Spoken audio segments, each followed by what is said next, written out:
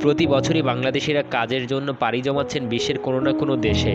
বৈধ পথে বিদেশে যাওয়ায় এসব প্রবাসীর হিসাব রাখছে বাংলাদেশ সরকারের জনশক্তি কর্মসংস্থান ও প্রশিক্ষণ ব্যুরো বা বিএমইটি বাংলাদেশের ঠিক কতজন নাগরিক প্রবাসে আছেন তার সঠিক পরিসংখ্যান নেই। তবে বিএমইটির হিসাব অনুযায়ী উনিশশো ছিয়াত্তর সাল থেকে এখন পর্যন্ত এক কোটি ছাব্বিশ লক্ষ মানুষ কর্মসংস্থানের জন্য দেশের বাইরে পাড়ি জমিয়েছে। তবে কতজন লোক ফিরে এসেছেন তারও কোনো পরিসংখ্যান নেই সেখানে।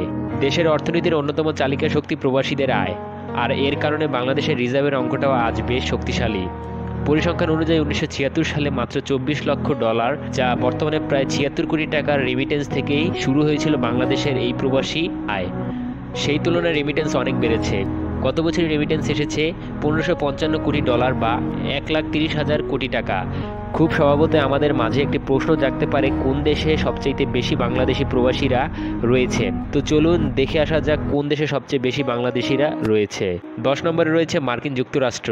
দুই লক্ষ তেরো হাজার তিনশো বারো জন বাংলাদেশি রয়েছেন এই দেশটিতে। উনিশশো সত্তর সালের পূর্ব থেকেই মার্কিন যুক্তরাষ্ট্রে বাংলাদেশ থেকে আগত অভিবাসীদের সংখ্যা বাড়তে থাকে।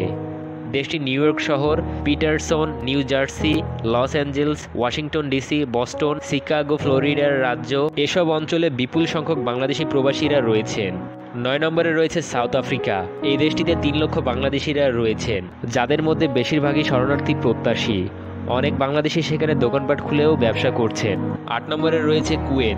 দেশটিতে তিন লক্ষ পঞ্চাশ হাজার বাংলাদেশি রয়েছে। বাংলাদেশিদের জন্য কুয়েতের মতো গুরুত্বপূর্ণ একটি শ্রমবাজার প্রায় বন্ধ হয়ে গিয়েছিল বলা চলে। এগুলো সত্ত্বেও কুয়েতের মোট প্রবাসীর প্রায় পাঁচ ভাগই হচ্ছে বাংলাদেশি। সাত নম্বরে রয়েছে কাতার।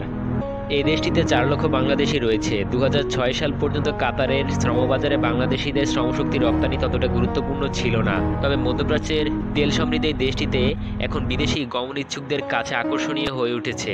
কাতারের বিশ্বকাপ আয়োজন সেখানে অনেক বাংলাদেশিদের জন্যই কাজের সুযোগ তৈরি করেছে। ছয় নম্বরে রয়েছে ইতালি। পাঁচ লক্ষেরও অধিক বৈধ ও অবৈধ বাংলাদেশি রয়েছে এ দেশটিতে।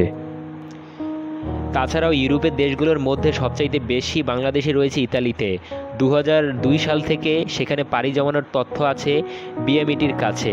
দু হাজার আঠেরো সালের হিসাব অনুযায়ী দেখা গেছে, সে বছরই সাড়ে বিশ হাজার বাংলাদেশে বৈধ বা অবৈধভাবে পাড়ি জমিয়েছেন পশ্চিম ইউরোপের এই দেশটিতে।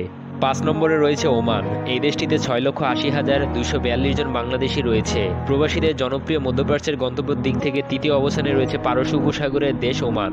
দু হাজার ষোলো সালে এক বছরের মধ্যেই দেশটিতে এক লক্ষ আটাশি হাজার বাংলাদেশি পাড়ি জমিয়েছিলেন। তবে পরবর্তী বছরেই তা নেমে এসেছে সাতচল্লিশ হাজার সাতশো সাতাশি জনে। চার নম্বরে রয়েছে সংযুক্ত আরব আমিরাত। এই দেশটিতে সাত লক্ষ ছয় হাজার বাংলাদেশি রয়েছে।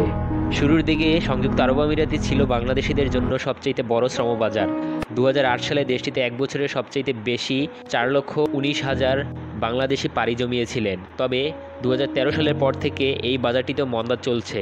গত বছর মাত্র তিন হাজার দুইশো পঁয়ত্রিশ জন লোক এই দেশটিতে পাড়ি জমানোর সুযোগ পেয়েছেন। উনিশশো ছিয়াত্তর সাল থেকে এখন পর্যন্ত বিপুল সংখ্যক বাংলাদেশিদের গন্তব্য ছিল সংযুক্ত আরব আমিরাত, যা বাংলাদেশের মোট জনশক্তি রপ্তানির প্রায় উনিশ ভাগ। তিন নম্বরে রয়েছে যুক্তরাজ্য। নয় লক্ষ পঞ্চাশ হাজার বাংলাদেশি রয়েছে এই দেশটিতে। যুক্তরাজ্যের দু এক সালের আদমশুমারির তথ্য অনুযায়ী প্রায় তিন লক্ষ জন ব্রিটিশ বাংলাদেশি পূর্ব লন্ডনের টাওয়ার হ্যামলেট নিউহ্যাম শহরে বাস করে, যাদের বেশিরভাগই সিলেট বিভাগের অধিবাসী। ব্রিটিশ সরকারের তথ্য মতে, এখানকার বাংলাদেশিদের মধ্যে পঁয়ষট্টি ভাগই হচ্ছে সিলেটের অধিবাসী। দুই নম্বরে রয়েছে মালয়েশিয়া। এই দেশটিতে দশ লক্ষেরও অধিক বাংলাদেশি রয়েছে। বাংলাদেশিদের কাছে মালয়েশিয়া আকর্ষণীয় হয়ে উঠতে শুরু করেছে মূলত উনিশশো নব্বই সালের পর থেকে। দু হাজার সাত সালে সবচেয়ে বেশি দুই লক্ষ তিয়াত্তর হাজার জনের বেশি শ্রমিক কাজের জন্য গিয়েছিল এশিয়া মহাদেশের উন্নত এই দেশটিতে।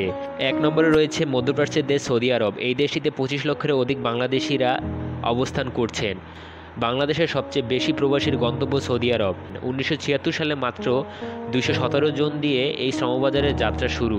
দু হাজার সতেরো সালে দেশটিতে সর্বোচ্চ পাঁচ লক্ষ একান্ন হাজার লোক কাজের উদ্দেশ্যে পাড়ি জমিয়েছিলেন।